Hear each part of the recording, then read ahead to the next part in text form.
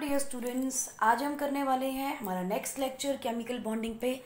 बहुत ही important topic है और बहुत ही इंटरेस्टिंग भी है। हाइब्रिडाइजेशन हर बार क्वेश्चन आते हैं बोर्ड में भी कंपटीशन में भी। फटाफट देखते हैं और इस इंटरेस्टिंग टॉपिक को शुरू करते हैं। बच्चों, क्या है ना? मान लेते हैं हमारे पास एक मॉलिक्यूल है। ठीक है? मीथेन का। अब आप ये देखो, मीथेन में क्या हो रहा है? फोर हाइड्रोजन एटम्स हैं। फोर के फोर हाइड्रोजन एटम का एक एक इलेक्ट्रॉन है, यानी कि चारों के वन एस ऑर्बिटल होंगे। चारों के चारों का। ऑल फोर हाइड्रोजन एटम्स यानी this is first hydrogen second hydrogen third hydrogen and fourth hydrogen सबके एक एक ऑर्बिटल हैं। एक एक इलेक्ट्रॉन है सब में। अभी कार्बन का देखें तो क्या है? There is only one carbon ठीक है? एटम्स लिख लेते हैं। एटम्स कितने हैं? फोर यहाँ कितने एटम्स हैं? वन कार्बन का एटॉमिक नंबर सिक्स इसका मतलब इसकी कॉन्फ़िगरेशन क्या होती है? Two s two two p two correct two s two two p two और हमें कितने कार्बन हाइड्रोजन है? चार हाइड्रोजन है। इसका मतलब ये है कि कहीं ना कहीं कार्बन के जितने भी इलेक्ट्रॉन्स होंगे, देखो इसकी कॉन्फ़िगरेशन क्या है। One s two two s two two p two six ही रहते हैं ना इलेक्ट्रॉन्स इसके पास। तो यहाँ पर कितने इलेक्ट्रॉन होंगे? दो। यहाँ एक यहाँ एक। ना कितने कार्ब हाइड्रोजन है? चार। इसका मतलब मैक्सिमम कोवेलेंसी कार्बन की क्या हो सकती है? फोर इसका मतलब एक्साइटेशन के अंदर ये इलेक्ट्रॉन मूव करेगा ऑन टू दिस साइड अब हमें ये भी मालूम है कि इलेक्ट्रॉन जब कंबाइन करेंगे तो उनका स्पिन भी अलग होगा। So what we can say एक इलेक्ट्रॉन मेरे पास यहाँ आ गया। इनका ऑपोजिट बना लेते हैं। कुछ भी हो सकता है। इसका ऑपोजिट हो सकता है, इसका हो सकता है, किसी का भी हो सकता है। हम इसका मान लेते हैं। We are just is taking it इसका मतलब देखो, यहाँ क्या है? Two s two p x two p y two p z इसका मतलब जब ये कार्बन ये कोई एलिमेंट इसके साथ कंबाइन करेगा, ये इलेक्ट्रॉन इसके साथ कंबाइन करेगा। ये इलेक्ट्रॉन जाके इससे कंबाइन कर रहा है और ये इसके साथ। ना देखो हमारे पास क्या क्या बन रहा है। यहाँ एस एस बॉन्डिंग होगी इन दोनों के बीच में एस पी बॉन्डिंग होगी, इसके अंदर भी एस पी और इसके अंदर भी एस पी ठीक है ना? लेकिन ओरिएंटेशन भी अलग अलग होंगी। इसका मतलब ये बॉन्डिंग अलग है और ये बॉन्ड अलग है ऑल तो ये तीनों एक जैसी होंगी। करेक्ट हमें मिलना चाहिए कि जब हम इसको कम मॉलिक्यूल को स्पेक्ट्रोस्कोप से देखेंगे तो हमें लगेगा कि ये भाई बॉन्ड ज़्यादा स्ट्रांग है तो बॉन्ड लेंथ छोटी होनी चाहिए। और ये बॉन्ड लेंथ बड़ी होनी चाहिए, क्योंकि हमने वैलेंस बॉन्ड थ्योरी में पीछे बात किया था कि एस और एस और बाइटल की बॉन्ड ऑर्डर बॉन्ड स्ट्रेंथ जो है वो ज़्यादा होगी। स्ट्रेंथ ज़्यादा होने का मतलब बॉन्ड लेंथ छोटी होनी चाहिए। As compare to s p orbital bonding इसका मतलब क्या हुआ? हमें स्पेक्ट्रोस्कोप से अलग अलग मिलनी चाहिए थी bond length should be different as well as bond strength should be different?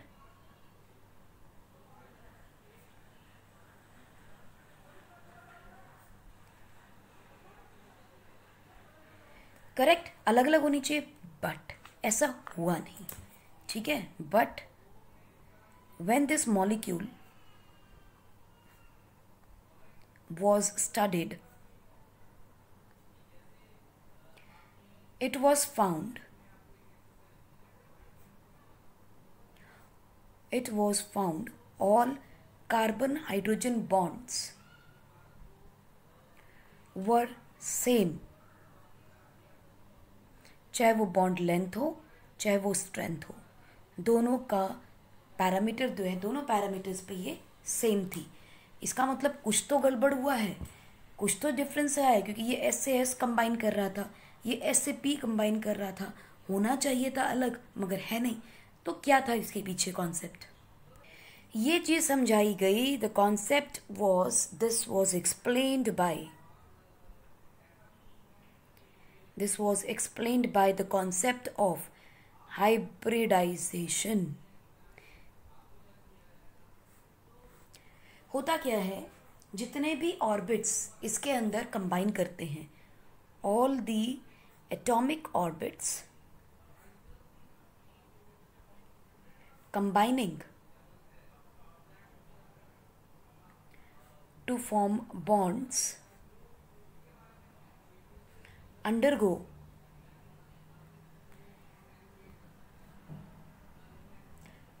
a change where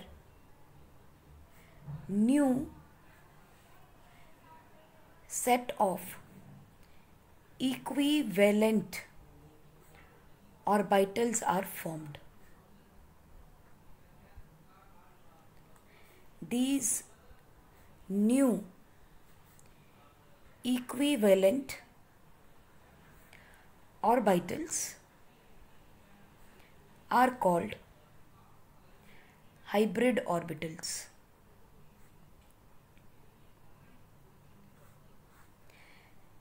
To form a molecule,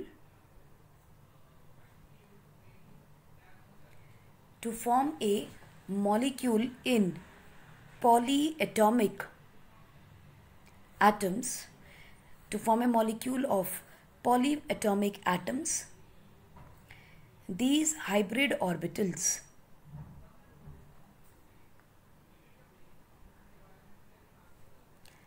are used to form a bond. This is called hybridization.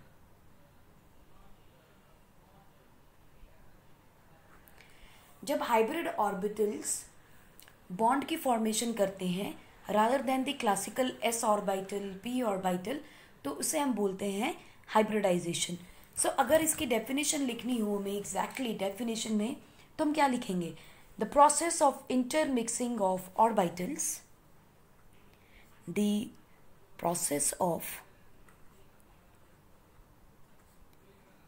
intermixing of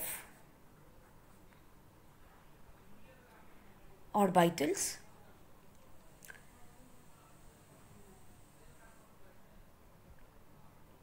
of different energies और बहुत ज़्यादा difference नहीं होना चाहिए different energies so as to redistribute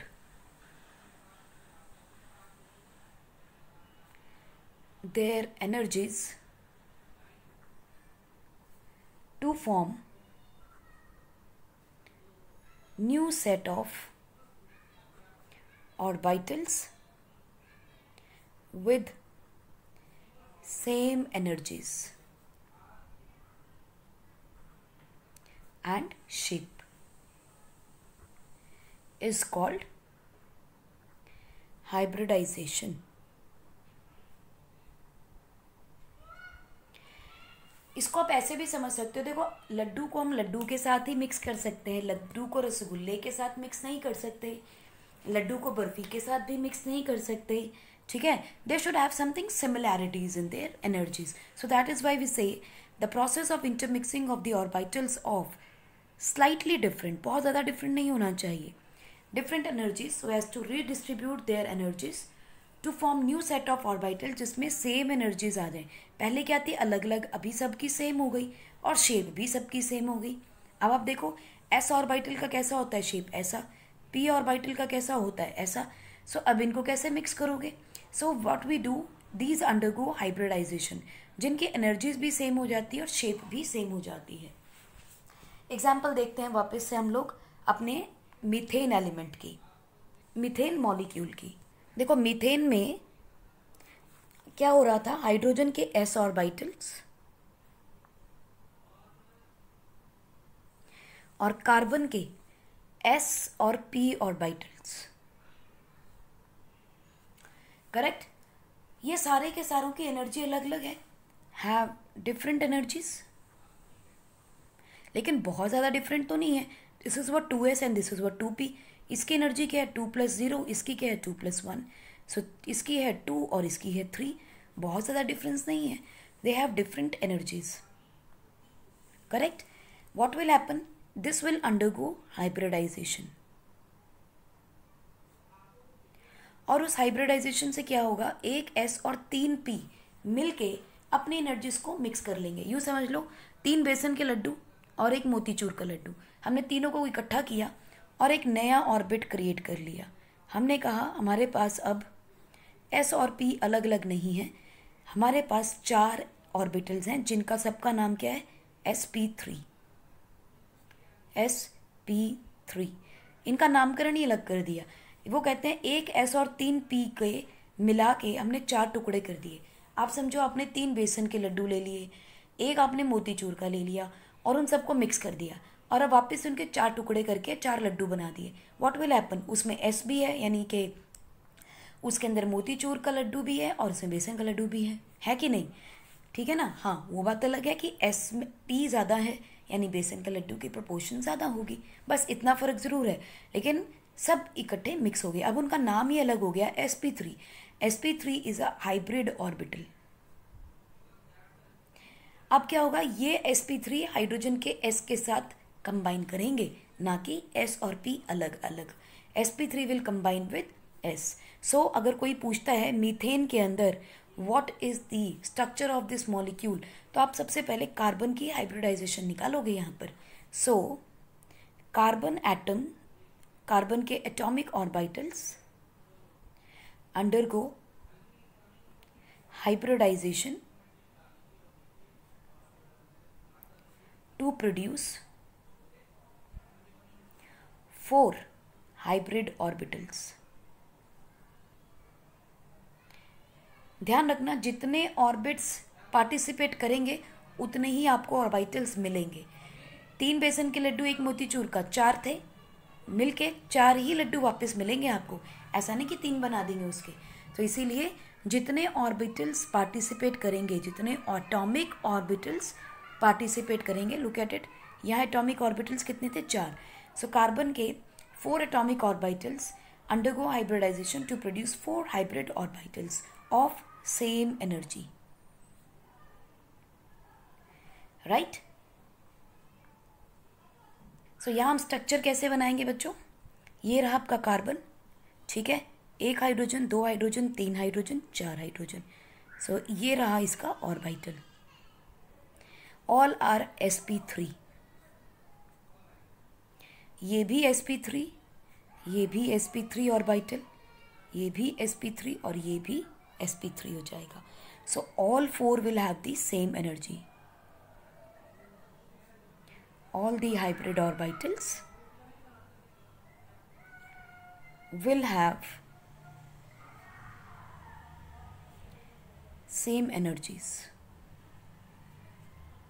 और ये सारे orbital अपने आप को इस तरह से एडजस्ट कर लेते हैं ऑल दी बॉन्ड्स और the orbitals repel each other till it attain stability with minimum repulsion जैसे हम रिश्तेदार भाई बहन भी होते हैं ना हम क्या कहते हैं कि इतनी दूरी रखो कि आप मेरी पर्सनल लाइफ में इंटरफेयर ना करें। आजकल बड़ी पर्सनल लाइफ का रफड़ा रहता है। My privacy is being hampered आप उसमें पोक कर रहे हो। सो so, इतना डिस्टेंस एक दूसरे से रखते हैं कि मिनिमम रिपल्शन रहे। अट्रैक्शन तो नहीं होगी इतनी ज़्यादा लेकिन मिनिमम रिपल्शन रहे। ठीक है? सो so, इसका मतलब ये हुआ कि जब हम हाइब्रिडाइजेशन करते हैं तो हमें ये पता चल जाता है कि वो अपने आप को किस तरह से स्पेशियल अरेंजमेंट देंगे। स्पेस के अंदर खुद को कैसे अरेंज करेंगे और उसे हम बोलते हैं geometry therefore hybridization is responsible for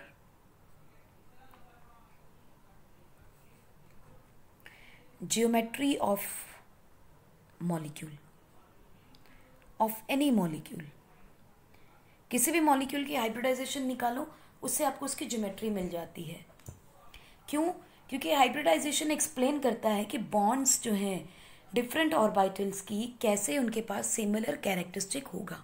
एक तो वो बताता है ज्योमेट्री बताता है, और दूसरा ये समझा देता है कि क्यों वाई डिफरेंट ऑर्बिटल्स और you can say different atomic orbitals have same characteristics वो क्यों है? क्योंकि एक्चुअली में एटॉमिक ऑर्बिटल्स कर ही नहीं रहे कुछ। Atomic orbital undergo hybridization hybrid orbitals बना रहे हैं, जो भी बना रहे हैं। और हाइब्रिड ऑर्बिटल्स एक जैसे होते हैं। Same energy same shape same structure ठीक है? और दूसरे को अपने आप से, एक दूसरे को इस तरह से अलाइन करते हैं कि मिनिमम रिपल्शन हो। एज अ रिज़ल्ट हमें एक स्टेबल ज्योमेट्री मिल जाती है बाय बाय अंडरस्टैंडिंग हाइब्रिडाइजेशन चलिए देखते हैं कि कंडीशंस क्या हैं हाइब्रिडाइजेशन के लिए। कब होगी, कैसे होगी, क्या होगा, है ना? उसके रूल्स देखते हैं क्या है। Now intermixing of atomic orbitals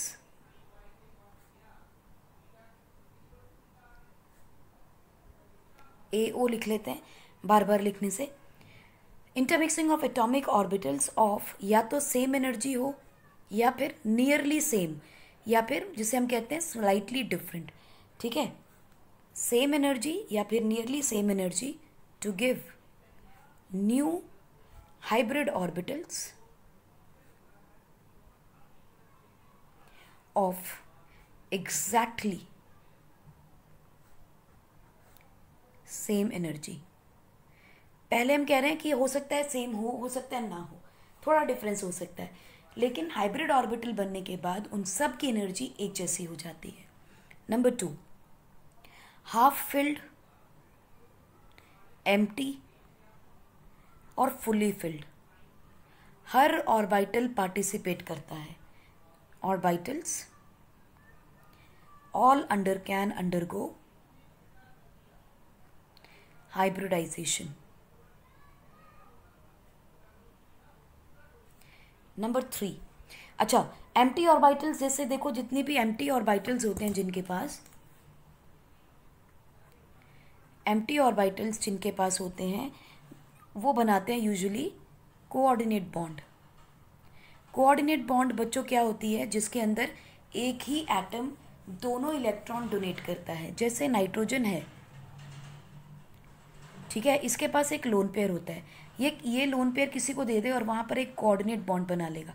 coordinate bond हमेशा एक एरो से डिनोट की जाती है in which the head side points towards the atom who is going to accept the electron and the tail side of the arrow is towards the donor ये donor का side होता है और ये रिसीवर का साइड होता है।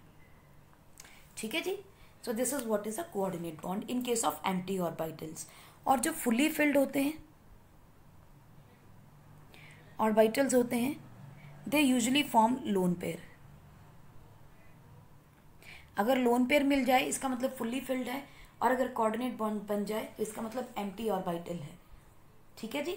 जैसे ये बनाएगा किसके साथ? कॉपर के साथ। अभी कॉपर के पास एम्प्टी ऑर्बिटल्स होंगे, तभी तो वो कोऑर्डिनेट बॉन्ड बना रहा है। करेक्ट और क्योंकि नाइट्रोजन का फुल्ली फिल्ड होता है हाफ़ फिल्ड होता है, इसके पास एक लोन पेयर है। अगर आप और देखेंगे एग्जाम्पल्स हम और देखते रहेंगे उसमें और क्लियर हो जाएगा। पहले फटाफट इसके और रूल्स देखते हैं। Now number of new hybrid orbitals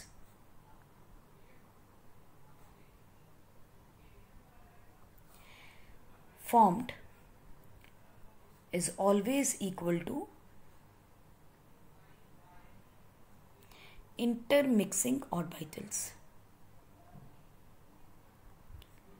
जैसे अगर मान लीजिए you people are say doing a party ठीक है? जब आप पार्टी करते हो तो व्हाट हैपन्स आप इकट्ठा पैसे पूल करते हो जिसकी जितनी कैपेसिटी होती है वो उतने अमाउंट दे देता है। सो so, ये पूल इन उसके बाद क्या करते हैं आप? कुछ परचेज करके लाते हो तो ऐसा तो नहीं जिसने पैसे कम दिए हैं उसे आप कम खाने को देते हो। या you do not allow her or him to participate into one particular game कि भाई तुमने पैसे कम दिए। What we do pool in करने के बाद सब बराबर हो जाते हैं। And we share each and everything in the same manner कोई ऊपर नीचे नहीं रहता।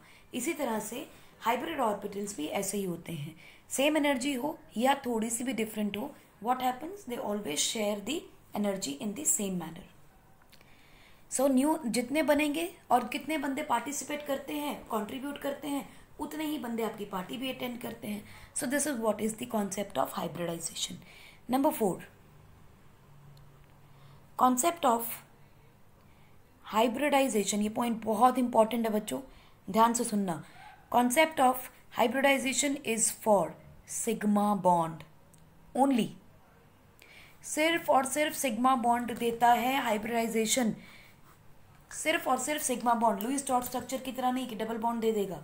Hybridization is only for sigma bond and pi bond do not undergo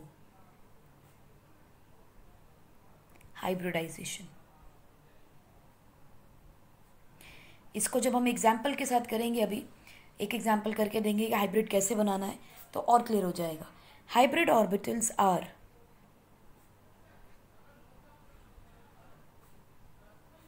named after the parent orbitals कौन कौन पार्टिसिपेट कर रहा है, उनके हिसाब से ही उसका नाम होता है। जैसे अगर एक एस और एक पी ऑर्बिटल पार्टिसिपेट करेगा तो हाइब्रिड क्या बनेगा? एस पी यानी कि एस का कैरेक्टर और पी का कैरेक्टर कितना है? Fifty percent fifty percent s fifty percent p दूसरा देखते हैं, अगर मान लीजिए एक एस है और दो पी हैं, दो पी पार्टिसिपेट करते हैं। चलिए इसको हम ख़त्म फिनिश कर लेते हैं। यानी कि ये फुल है, ये पार्टिसिपेशन में नहीं आ रहा। दो ही हैं। So it is going to be s and then p two p one p two right so इसमें कॉन्ट्रीब्यूशन कितना हो जाएगा? थर्टी थ्री परसेंट इसका। एस का। और sixty seven percent p block हो जाएगा, क्योंकि वन बाय थर्ड हो जाएगी। This is what one by two this is one by three this is one by two this is two by three right? Now, let us see another one. Let us say there is one s and all three p orbitals are participating. तो इसमें क्या लिखेंगे? S p three so it is one by four that is twenty five percent s का होगा and three by four seventy five percent p orbital का होगा. Right right? इसी तरह से it will keep on moving we have one s three p p x p y pz and let us say only one d is participating d. ठीक है जी? So so, उसे हम क्या बोल देंगे? S p three d similarly one s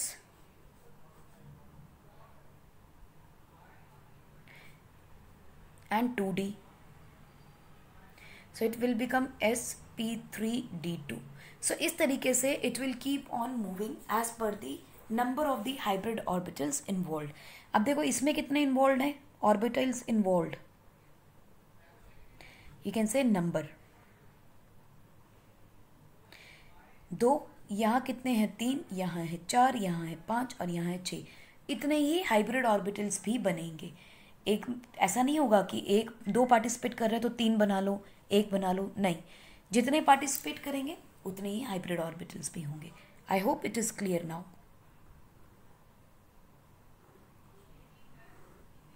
right? So, we have one, two, three, four, five. We can keep on doing all the hybrids, other hybrids also. मान लो तीन हो जाते चलो एक और देखते हैं। मान लीजिए तीन हो गए डी के भी। P x p y p z और यहाँ भी d one d two d three d one d two three क्या होता है एक्चुअली में? ये हो जाएगा s p three d three यहाँ कितने ऑर्बिटल्स पार्टिसिपेट कर रहे हैं? Seven right? और आपको अगर याद हो तो ये क्या है? डी एक्स का स्क्वायर डी वाई का स्क्वायर डी जेड का स्क्वायर डी एक्स का स्क्वायर डी वाई का स्क्वायर डी एक्स का स्क्वायर ठीक है? ये और ऑर्बिटल्स के नाम है if you remember from the quantum theory now the six point क्या है? Shape of hybrid shape of hybrid orbital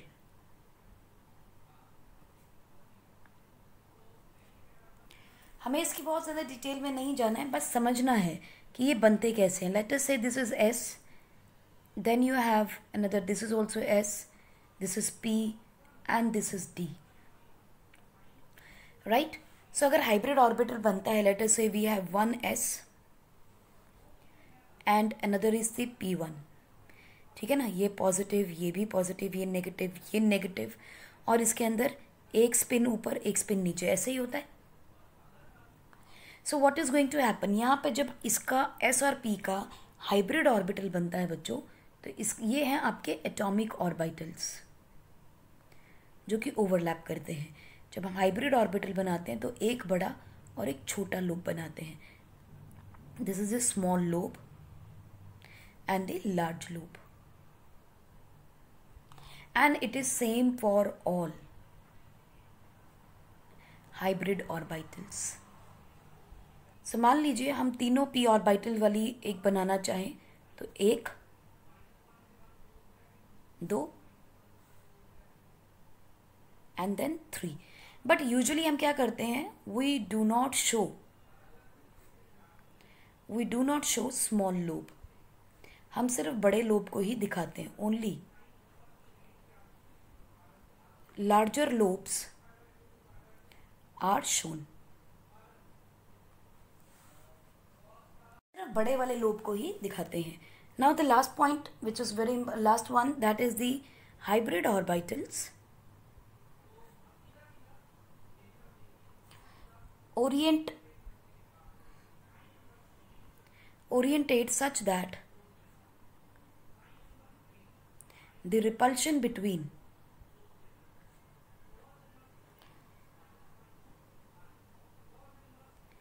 between them is minimum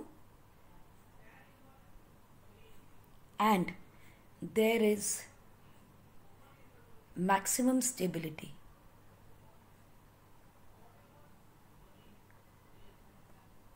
Therefore, it creates geometry.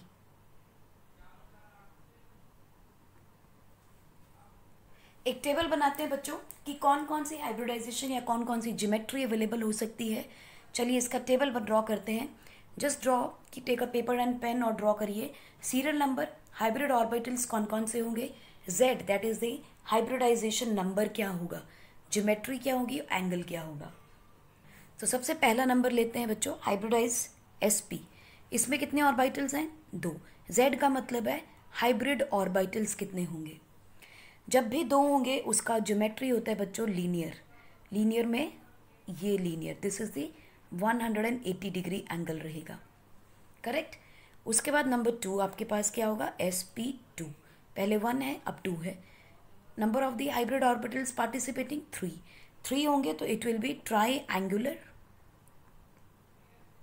planar triangular planar में जो स्ट्रक्चर एंगल होगा 120 degree होगा. Look at it this is the 120 degree और यहाँ देखो geometry में this is 180 degree number three is s p three total number of the orbitals participating four it is called as tetrahedral geometry tetrahedral geometry का मतलब angle is 109.5 degree इसमें क्या होगा? One two three and four this angle is 109.5 degree ठीक है जी?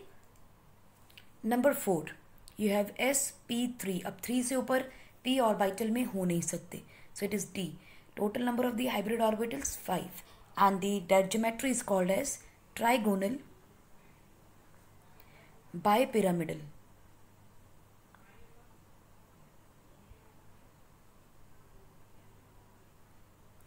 trigonal bipyramidal इसका भी angle बच्चों 109.5 डिग्री ही होता है।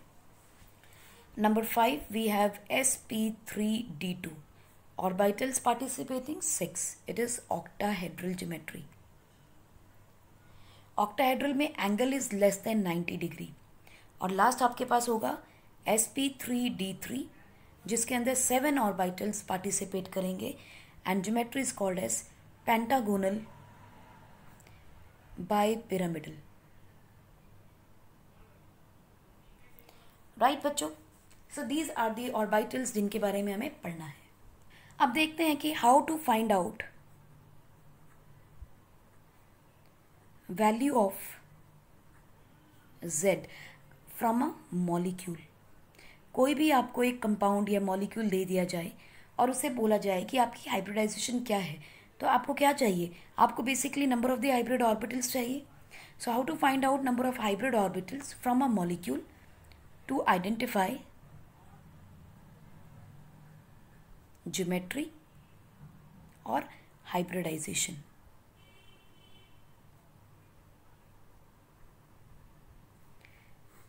हमने सिर्फ़ जेड की वैल्यू निकाल ली और हमारा सब कुछ सॉल्व हो जाएगा। तो देखें तो कैसे पॉइंट आउट करना है? Z is equal to one by two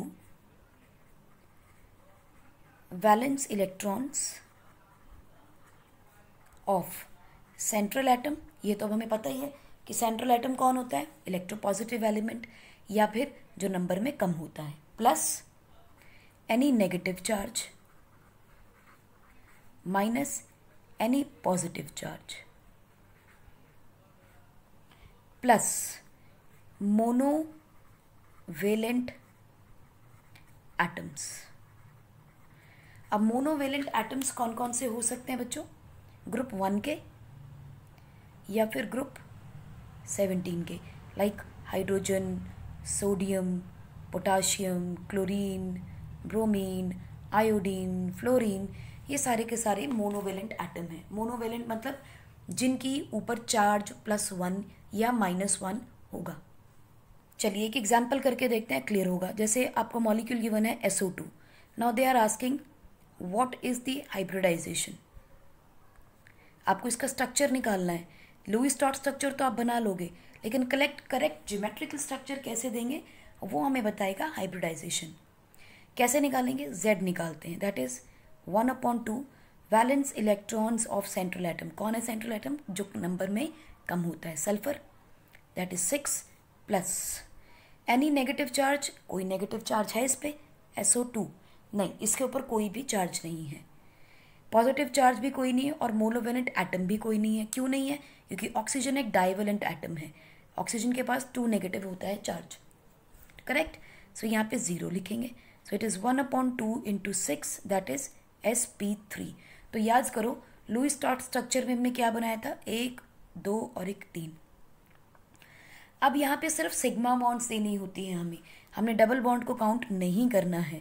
सिर्फ़ और सिर्फ़ sigma bond for hybridization so देखिए, एक, दो, तीन। तो ये रहा इसका स्ट्रक्चर कैसा स्ट्रक्चर होगा? एस पी थ्री है। सो एस पी थ्री में देखो क्या है?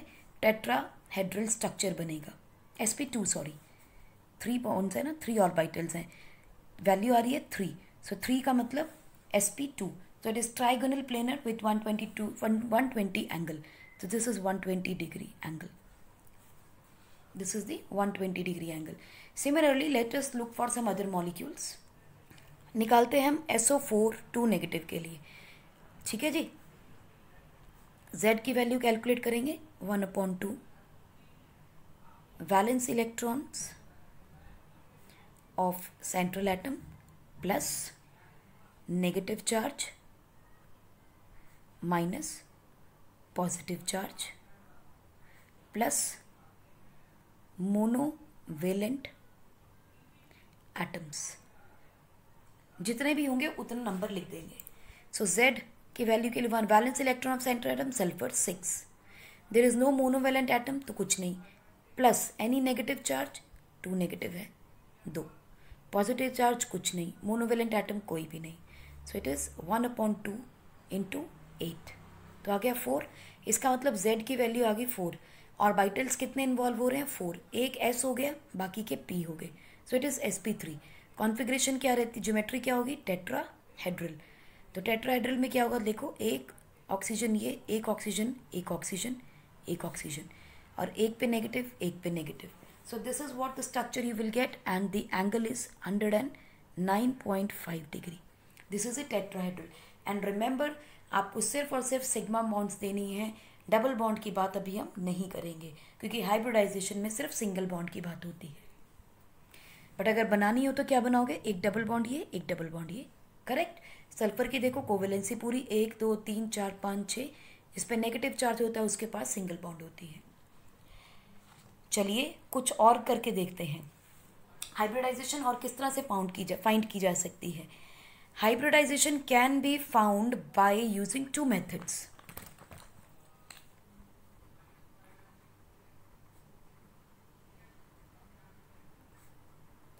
can be found by या तो हम उसका स्ट्रक्चर देख लें। उसका स्ट्रक्चर कैसा है, हम तब भी बता सकते हैं। या फिर by calculating z value of z. और z क्या होता है बच्चों? It is the sum of bond pair as well as lone pairs z को हम bond pair plus lone pair electrons भी कहते हैं। This is the value of Z अभी देखते हैं, और चीज़ें निकलेंगी। और जब स्ट्रक्चर देखोगे तो आपको सिर्फ़ सिंगल बॉन्ड देखनी है, एक तो। And look for lone pair double bond की बात नहीं हम करेंगे, ठीक है? आपको सिर्फ़ लोन पेयर देखना है और सिंगल बॉन्ड देखनी है। देखो कैसे। जेड के अंदर आपको सिर्फ़ सिग्मा बॉन्ड मिलती है, या फिर आपको लोन पेयर मिलता है ऑफ़ सेंट्रल एटम अगर स्ट्रक्चर गिवन है तो। स्ट्रक्चर दे के आपसे पूछते हैं हाइब्रिडाइजेशन बताइए तो आप इस तरह से यूज़ करेंगे। एग्ज़ाम्पल देखो let us say we have SO three sulphur का आपको स्ट्रक्चर दे दिया इसका। और आपसे ये पूछ रहे हैं, बताइए इसका जो हाइब्रिडाइजेशन है वो क्या होगा? तो देखिए how many sigma bonds it has double bond double bond double bond इसका मतलब तीन सिग्मा बॉन्ड है। एक सिग्मा एक सिग्मा एक सिग्मा दूसरी क्या है? Pi pi bond and pi bond अपने को क्या काउंट करना है? सिर्फ़ sigma bond okay sigma bond कितनी है? Three plus is there any lone pair on sulphur देखो, इसके पास डबल बॉन्ड है कोवेलेंसी पूरी है। दो दो, चार, दो छः सो इसका मतलब there is no lone pair electron right so, this is going to be z. So, z is equal to 3 plus 0 that is equal to 3 इसका मतलब कॉन्फ़िगरेशन क्या होगी? Sp2 it is going to be trigonal planar. And this is what it is there चलिए configuration को lone pair zone pair से भी देख लेते हैं। By using bond pair and lone lone pair also हमने क्या कहा है? Z is equal to bond pair electron plus lone pair electron how many bond pair electrons will be there आपको पता है सल्फ़र के पास कितनी बॉन्ड्स हैं? एक, दो, तीन, चार, पाँच छः और बॉन्ड पेयर इलेक्ट्रॉन कैसे निकालते हो आप? One point two into bond pair electrons plus lone pair. One point two into एक, दो, तीन, चार, पाँच, छः, बारह इंटू ट्वेल्व। ठीक अच्छा यहाँ भी आपको बॉन्ड पेयर सिर्फ़ सिग्मा बॉन्ड्स लेनी है और कोई नहीं लेनी। So it is bond pair sigma bonds कितनी है? छः इलेक्ट्रॉन आ गए।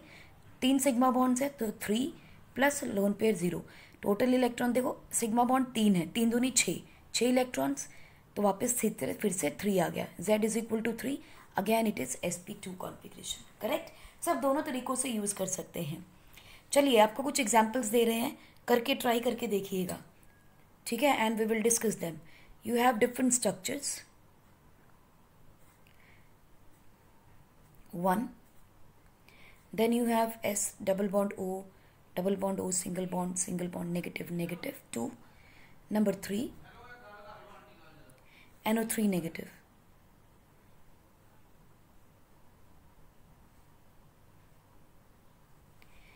number 4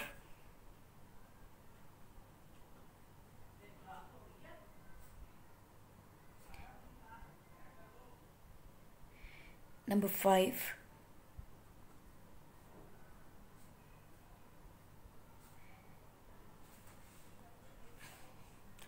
Number six.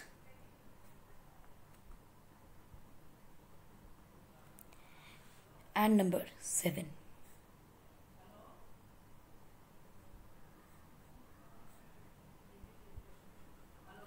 Find value of z and hybridization with geometry.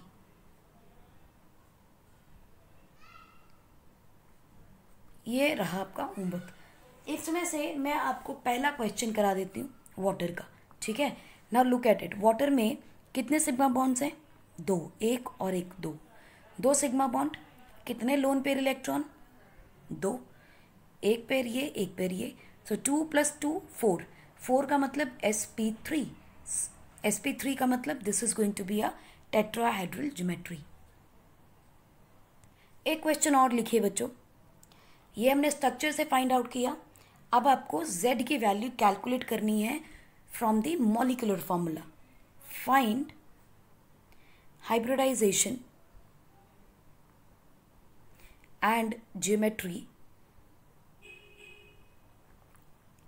चलिए ज्योमेट्री छोड़िए आप इसमें। खाली हाइब्रिडाइजेशन निकालिए। Hybridisation of nitrogen in ammonia oxygen in water carbon in carbonate ions, uh, nitrogen in NO3 negative, silicon in SiF4, sulfur in SF4, sulfur in H2S, sulfur in SO3 2 negative, xenon in xenon oxyfluoride and xenon in xenon tetrafluoride इसमें आपको इन atoms की hybridization निकाल के बतानी है। Hybridization हमेशा सिर्फ़ और सिर्फ़ सेंट्रल एटम की ही निकाली जाती है। So find out these let's move on to the next topic that is V S E P R that is valence shell electron pair repulsion theory इसके बारे में बात करेंगे हम हमारी नेक्स्ट क्लास के अंदर बच्चों। तब तक आप हाइब्रिडाइजेशन के साथ थोड़ा सा एक्वेंटेड हो जाइए कंफर्टेबल हो जाइए। तब हम बात करेंगे V S C P R की। But it is also very important and very interesting theory जो आपकी अगली क्लासेस में भी बहुत काम आने वाली है। यानी कि ट्वेल्थ में भी बहुत काम आएगा। सो so, इस चैप्टर को बहुत ध्यान से कीजिएगा। It is best be it is the base for your further chemistry चाहे वो ऑर्गेनिक्स है चाहे वो क्लास ट्वेल्थ की पूरी केमिस्ट्री है। बहुत इंपॉर्टेंट बेस है ये। So chaliye, with this we end this lecture and take care of yourself.